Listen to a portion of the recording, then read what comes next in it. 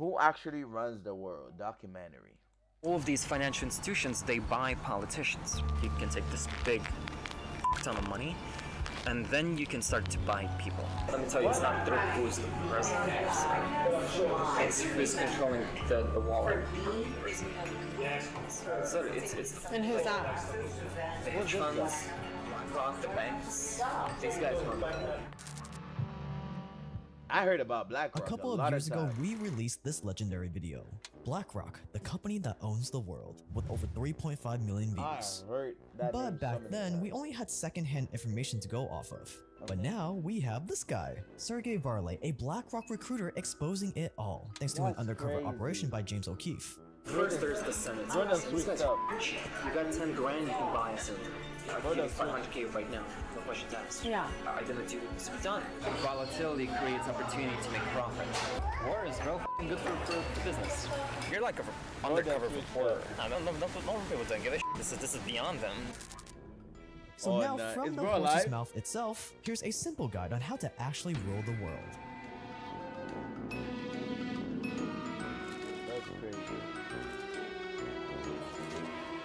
Yeah, SKG should buy BlackRock, right? SKG should buy BlackRock. Right? It's gonna cost us a hundred billion. That's great. Like probably 60, 70 billion.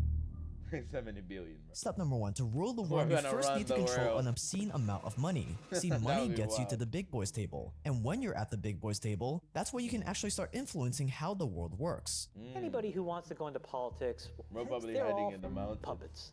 There are 150, and they're all men that run the world. Period. Full stop. They control most of the important assets. They control the money flows, and these are not the tech mm. entrepreneurs. Now they they are going to get rolled over over the next five to ten years by the people that are really underneath pulling the strings. And when you get behind the curtain and see how that world works, what you realize is it is know what this all unfairly set up eh? for them and their progeny. First order of business is I want to break through and be at that table. That's the first order of business. And the way that I do that is by proving that I can do what they do as well as they do it. And then mm. do it better than how they do it. Because at the end of the day, they are commercial f***ing animals, okay? And they'll open the door out of curiosity and they'll let me stay because I, because I add value. But it all starts with money. You acquire stuff. You I don't, diversify. I don't know why they put all like value and respect on money, bro. Money is an evil. It can be a blessing and an evil at the same time. Not gonna lie, because bro, if it's just a tree that you're cutting down, like aren't they all other trees? You acquire, you keep acquiring, you spend whatever you make in acquiring more. And know? at a certain point, your risk level is, is super low. Like, imagine you've invested in 10 different industries from food to to drinks to like technology, right? One, one of them fails, it doesn't matter. You have nine others to back you up. Risk management is, is inherently just about everything. And hmm. in the finance space, it's all about the money you make, you don't you don't let it sit. You, like, you keep using it over and over and exponential growth. You own a little bit of everything, and that little bit of everything gives you so much money on a yearly basis. And that's exactly what BlackRock did. Today, BlackRock has more than $9 trillion of assets under management. And you know what that means, That's right? crazy. It means that if BlackRock was a country, they would be the fourth biggest country in the world in terms of assets, surpassed only by Japan, China, and the US. That means BlackRock is bigger than the UK, bigger than Germany, bigger than France, Canada, Italy, and they own a percentage of every single major company in existence. That is wild. So BlackRock is now in this position where not only do they have this incredible influence over every single company out wild. there, but now if all they did was sit back and do nothing, they would still get another half a trillion dollars every year if all they did was grow their assets by another 5%. Now that is power. It's why their assets under management is projected to hit $15 trillion by 2028. And now that you own a little bit of everything, you now have this bird's eye view of the entire economy that no one else can see. Think about it, if you can see where money is flowing into and out of for the entire economy, that is insanely valuable. So now it's time to use this advantage to make yourself useful to the governments. So useful that the government starts to become dependent on you. That's crazy. Aside from the public companies that BlackRock is invested in, like Coca Cola, BlackRock also has their grubby little fingers inside of a bunch of private companies as well, to the tune of tens of billions of dollars. And this is with their private equity division. And why is BlackRock in private equity? Because private equity is where you're able to get in early on exclusive companies before they go public, before they potentially go to the moon, while also giving BlackRock a lot more influence on the company from the inside. Like imagine if you got into Tesla Tesla. just before they went public. That is private equity investing. Private equity investing has Oh. traditionally been reserved for giants like BlackRock, who can write million dollar checks to private companies. And on top of that, the downside That's of private crazy. equity is that typically your money isn't very liquid. It's not like the stock market where you can just sell your shares whenever you want. So typically your money is locked in for years at a time, which is not ideal. That's but right. what if you could have the best of both worlds? What if you could get exposure to some of the most innovative private companies while also having the liquidity of a publicly traded stock? Well, that is where Stack Capital comes in, today's paid sponsor. If you've heard of taxed? REITs or real estate investment trusts, where you buy a REIT stock to get exposure to real estate, it's the same idea here but with private equity. Stack Capital invests in really innovative private companies like SpaceX, Hopper, Locus Robotics, and more. That way, if you buy Stack Capital stock, it would be kind of like if you Wow. invested into SpaceX and all these other companies as well. Except since you're putting your money into a publicly traded stock, you can sell way easier than compared to private equity. Of course, this still comes with all the same risks as any investment, and I am not a registered financial advisor, but if you've been itching to get access to these type of companies, this I'ma might be a good route for you. You can learn more about what company Stack Capital is invested in by scrolling down and clicking the link below. Scroll be down and click the link below to learn more about Stack Capital now. From around the world. Crazy. To the politician. Step number two, make yourself indispensable to the governments. economic simulation. They need to understand the impact of something, right? They're gonna like raise the interest rate, for example. Mm-hmm. It's gonna create this cascade of various factors that people aren't, they're not sure what it's gonna do, basically. This is where BlackRock's secretive financial markets advisory group comes in. Now, BlackRock's financial market advisories group sounds like a vague, unassuming division of the company, and on paper, this division does not even make BlackRock all that much money.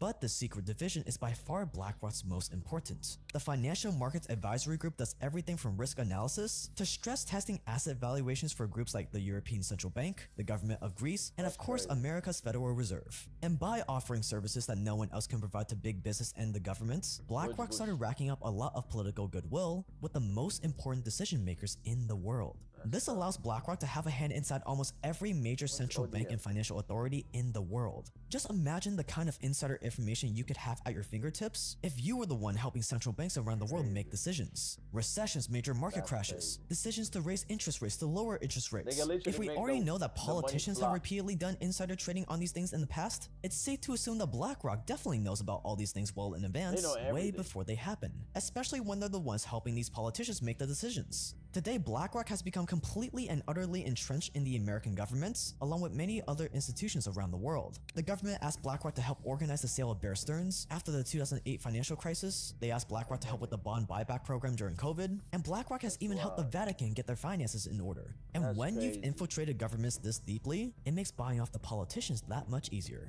That's crazy. That is wild.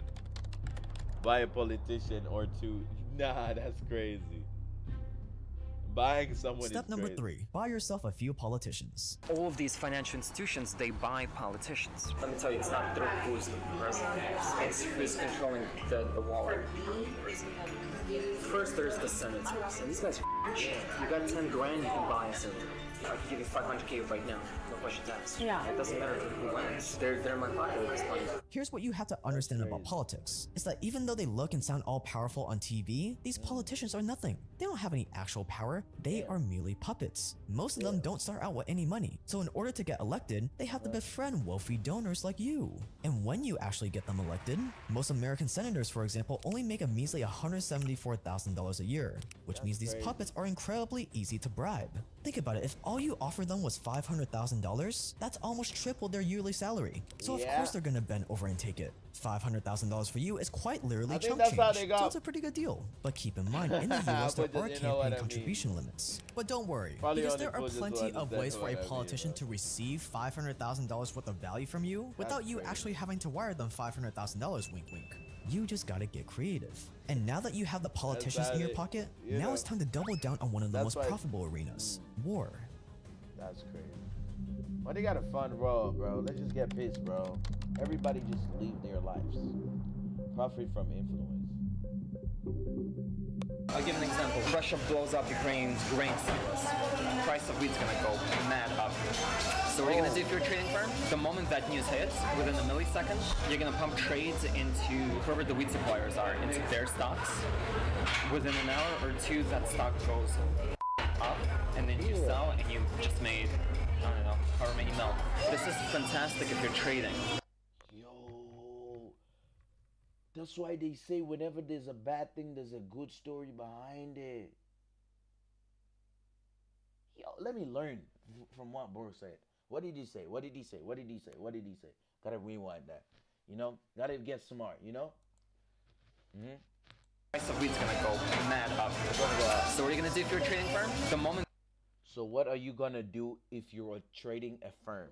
The moment that news hits, within a millisecond, you're going to pump trades into. that news hits, within a millisecond, you're gonna pump trades into whoever the wheat suppliers are, into their stocks. into their stock. Within an hour or two, that stock goes Up. up, and then you sell, and you just made, Don't know, however many mil. This is fantastic if you're trading. A mil in a millisecond. Oh my days! A mil in a millisecond? Nah, bro. That is. Oh yeah. Nah, nah, nah, nah. Hit news, bro. We pump all the money, bro. We rich, bro. Damn, bro. Nah, nah, nah. We're just gonna wait for the next news. What's the next news? What's the next news? I'm gonna invest into. Nah, you into. Volatility creates opportunity to make profit. War is real f***ing good for, for, for business. It's exciting when goes wrong, right? And that's not all. In June 2023, dying. Is it- BlackRock announced it will be setting up a reconstruction bank with the Ukrainian government to help rebuild the country and attract private investments. That's and even though BlackRock said they're going to be offering their help for free, this move will put BlackRock in free. the perfect position to get in early on all the best investments. Think about it, if Ukraine wins this war, it's safe to assume that America is just going to dump even more money into the country to Mm-hmm. rebuild and take it over. And BlackRock will be in the perfect position to know about it first and capitalize. That's why Uh-huh. companies like BlackRock are doing everything in their power to keep the war going. Because the more damage the war creates, the more reconstruction will be needed. U- Ukraine is good for business.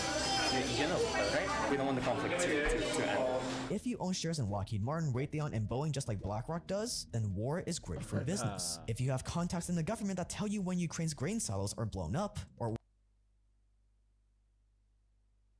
when America's gonna sanction Russian natural gas so you can profit off of it, war is great for business. If you own shares in the companies that are eventually gonna be hired to rebuild Ukraine, war is great for business.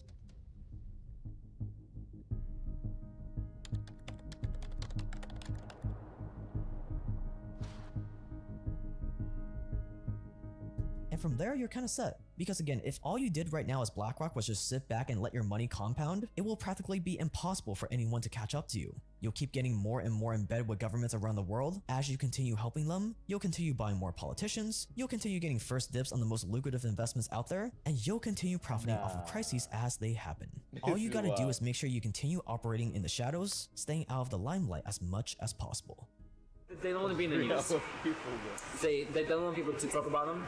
They don't want to be anywhere on, on the radar. Why not? I don't know, but I suspect it's probably because it's easier to do things when people aren't thinking about it. But let's be real. Even if the masses did realize what you were up to, they're not gonna do anything about it. They're too preoccupied with TikTok paying their rent on where they're gonna go out this weekend to care. Th- that- Isn't that what they call like something circus, a Ponzi circle or something? They used to do that. But normal people don't give a shit. This is, this is beyond them. So that is the cycle of life. First you get the money, then you get the power, then you get everything. What I try to tell you, this country, you gotta And after that, they distract everybody, bro. This is how it is, bro. Like make the money first. that's Then why they get the push the money, music so we get the hard. And, power. Then we get the power, then you get the woman. I want to watch this movie. Isn't it, what, what- what's the name of this movie? I need to. I, I need. Yeah, I want to watch it. That's why you gotta make your own moves. Bro said stay dangerous. That is wild. That's why you gotta make your own moves. Stay dangerous is wild, bro. I think it's Scarface. Yeah, yeah. I gotta watch that, bro. Gotta watch that. But that's wild, bro. But look at smart people. I ain't gonna cap, bro. Be a millionaire in a millisecond just based on the bad occasion. It's wild, bro. Damn, imagine you have two trillions, bro. A bad thing happens, bro. You have a two hundred trillion. Oh my days, bro. You're rich. You're living life. Rich.